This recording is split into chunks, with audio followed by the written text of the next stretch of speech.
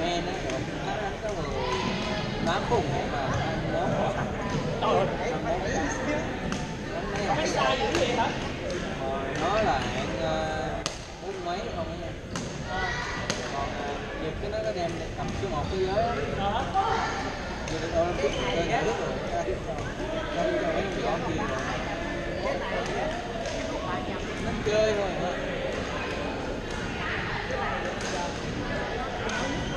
bây giờ nó đánh tụi nó đi làm sao để nó lấy à, Đi điểm trúng giải á vô giải